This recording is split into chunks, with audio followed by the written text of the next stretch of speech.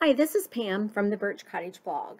In this video tutorial, I'd like to show you how to print a PDF document from your browser, from Adobe, or from Google Drive. Let's take a look. First, let's take a look at how to print a PDF from your browser. In this case, I'm using Google Chrome.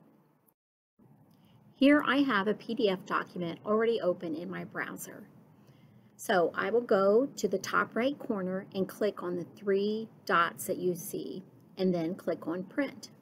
The printer dialog box will open. Select the printer that you want and select the pages that you'd like to print. In this case, I only want to print the second page, so I put in page number two and then click on the print button. Next, let's take a look at how to print a PDF document from Adobe software. Again, I have already opened my document up in Adobe.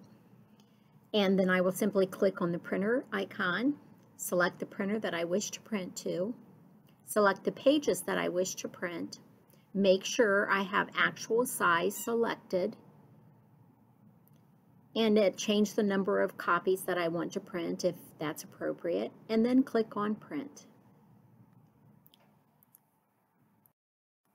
Next, we'll take a look at how to print a PDF from Google Drive.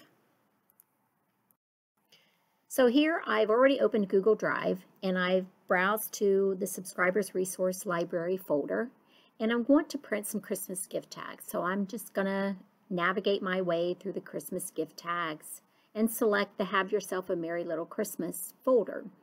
And then double click on the file that I want to open and that will open in my browser. It's a two-page document. The first page is instructions. The second page is the gift tag. So click on the printer icon. The page will load in my browser. And again, I'll click on the printer icon.